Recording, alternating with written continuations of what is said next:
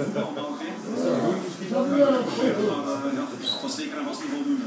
Je hebt een eh, hele tijd bij Club gespeeld. Kan jij dit Club nu eens inschatten?